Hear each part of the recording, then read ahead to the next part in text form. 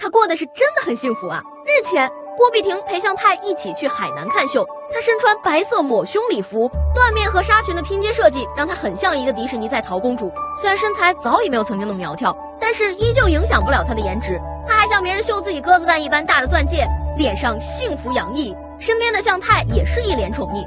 看秀结束后，郭碧婷连夜就赶回了家，而向佐则抱着女儿在机场等老婆。看到妈妈后，小奶黄紧紧地拉着妈妈的手，向佐也是伸手把郭碧婷揽在怀里。过了一会，一家三口手拉手就回家了，好温馨的画面啊！一开始大家都不看好郭碧婷和向佐的婚姻，但是如今人家儿女双全，婆媳关系融洽，这怎么不算是幸福呢？